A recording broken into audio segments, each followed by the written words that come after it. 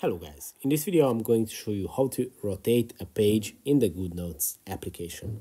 So first of all you just have to open the GoodNotes app, go to one of your notebooks, open up the page that you would like to rotate and then you have to go to the top right corner of the screen, tap on these three buttons and you are going to find the rotate page here.